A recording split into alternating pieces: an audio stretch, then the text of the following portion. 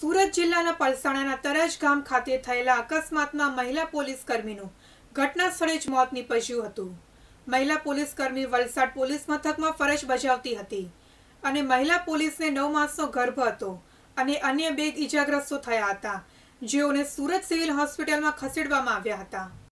ગત સાંજના સમયે સુરત તરફથી વલસાડ પોલીસમાં એએસઆઈ તરીકે ફરજ બજાવતા અનિતાબેન ભાવેશભાઈ ચૌધરી, સુરત એસપી ઓફિસ શનિવારે બારડોલી ખાતે થયેલા પોસ્ટિંગ બાદ હાજર થઈ તેના સંબંધી યોગેશ નાઓ સાથે પરત ફરી રહ્યા હતા અને તે અરસામાં બારડોલી ફરજ પોલીસ સ્ટેશનમાં ફરજ બજાવતા યોગેશ ચૌધરીને મળતા તેમની કાર બારડોલી પરત ફરી રહ્યા હતા અને તે અરસામાં તરાજ ગામની સીમા હોટેલ ગોલ્ડન નજીક પલસાણા તરફથી આવતી અન્ય કારના ચાલકે ડિવાઈડર કુદાવી યોગેશભાઈની કારને અડફેટે લેતા રિક્ષા પણ આવતા ટ્રિપલ અકસ્માત થયો હતો.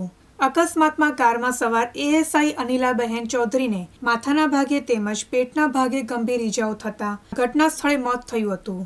તેમજ કાર ચાલક યોગેશ ચૌધરી અને અનિલાબહેનના સંબંધી યોગેશ નાઓને સારવાર અર્થે હોસ્પિટલ ખસેડવામાં આવ્યા હતા. ઘટનાની જાણ થતાં ડીવાયએસપી સહિતનો પોલીસ કાફલો ઘટના સ્થળે દોડી આવ્યો હતો. મોડી સાંજે અનિલાબહેનના મૃતદેહને પોસ્ટમોર્ટમ કરી પરિવારને સોંપ્યો હતો અને સમગ્ર ઘટના બાબતે પલસાણા પોલીસે ગુનો નોંધી તાજવીજ હાથ ધરી હતી. અનિલાબહેનને નવ માસનો ગર્ભ હતો, જેથી ગોજારી ઘટના બની તે જિલ્લા પોલીસ બેડામાં શોકની કાલીમ છવાઈ હતી. કમલેશ સોની સાથે અશ્મિતા પટેલ, દિવ્યાંગ ન્યૂઝ, પલસાણા.